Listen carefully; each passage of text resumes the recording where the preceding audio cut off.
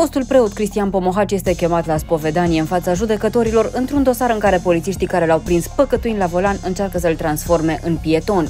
Luna viitoare, Pomohaci este citat la Tribunalul Bistrița Năsăud într-un proces în care Inspectoratul Județean de Poliție încearcă să ridice permisul de conducere pe o perioadă de 90 de zile.